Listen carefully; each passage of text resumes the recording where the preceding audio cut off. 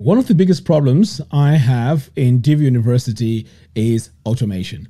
I want that when someone purchases a product or a service, they easily get access to the community or to the product that they've just purchased. Now, imagine waking up every morning and you have emails saying, Oh, I purchased this product, but I can't download it.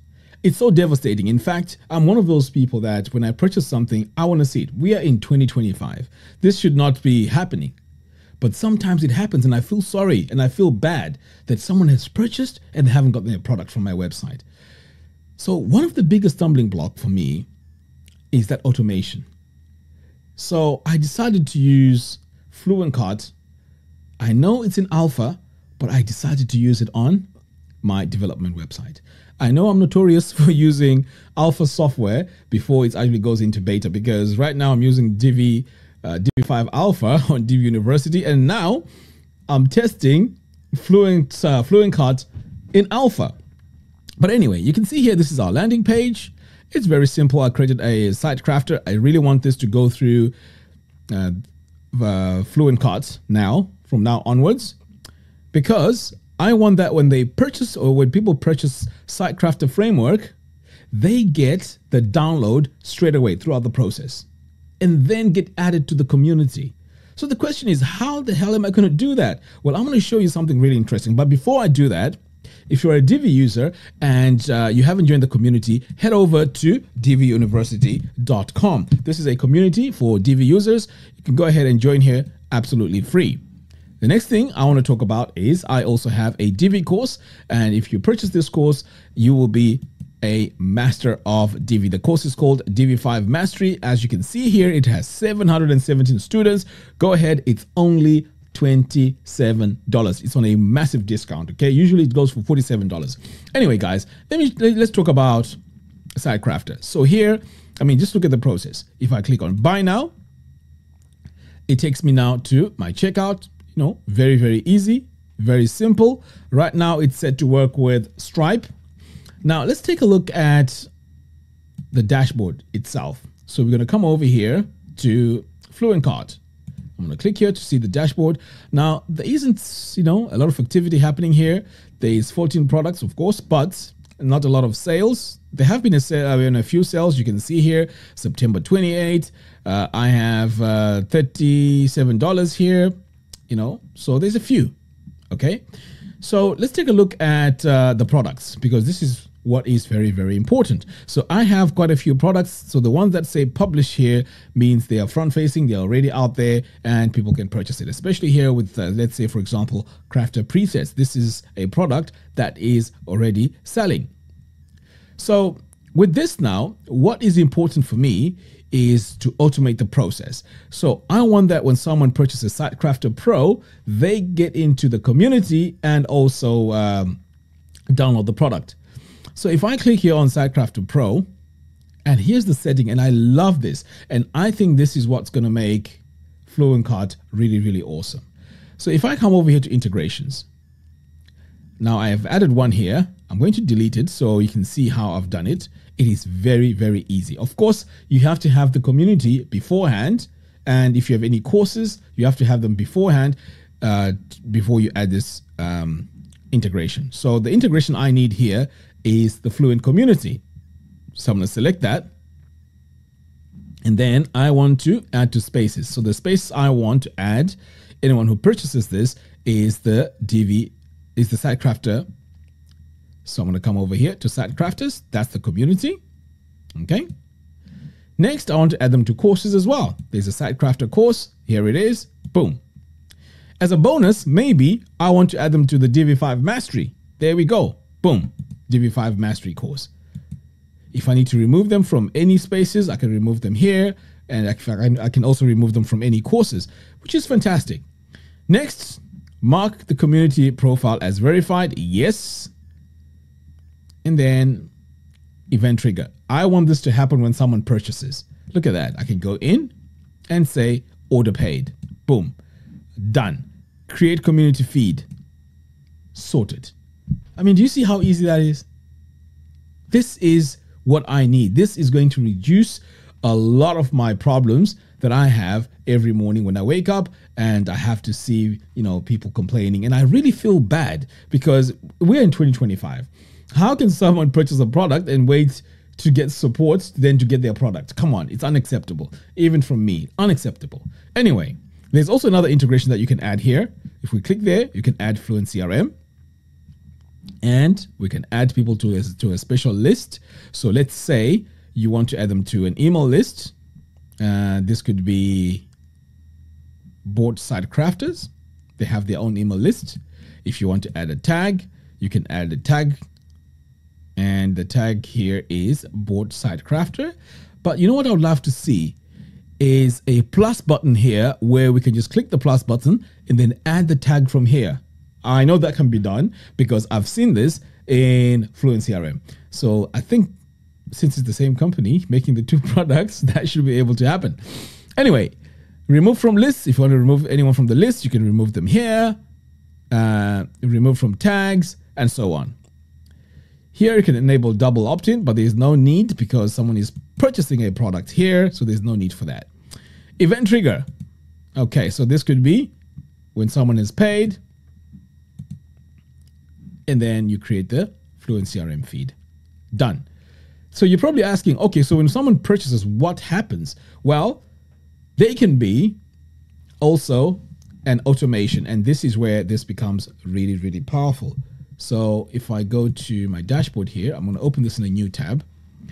We can go to automations here, and let's say when someone bought SiteCrafter yearly, what needs to happen? So if I click in here, Look at that. You can create a WordPress user, add a badge to the user, add them to the space, remove the tag, send custom email, wait a couple of days. You know, so there's a lot you can do. And this is the work that's going to be done behind the scenes. And I really love this because if you go to stats, you can see here, you know, these are the stats. And you can also view the reports here and you can also see what has happened. I mean, look at that. Isn't that cool?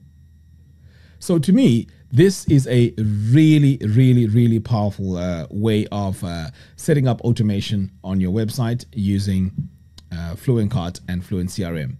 So back over here now, uh, let's go back to our settings. I mean, the settings is very, very important here because we get to see a lot of things that we can do. So here is where you get to add your store name, the logo, and this is where you get to set your store to be live or as a test. Okay. Next, we have our pages set up. Now, this for me is very, very important because you can create specific pages and just use the shortcode. So if I copy this shortcode for example, I can go in and create a new page. So let's just go and create a brand new page here. So I'm going to say plus page. So we can name this page whatever we want. It's you know it's up to you. So I'm going to say um, my dashboard. Oh, I'm just going to call it my dash. So I can either use the default editor or I can use uh, the Divi Builder.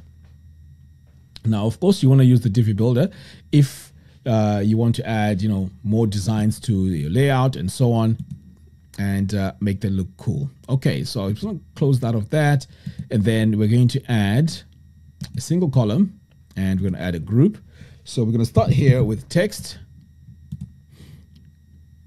and then this text here, we are going to duplicate it because in the second one is where we're going to go in and add our shortcode like that.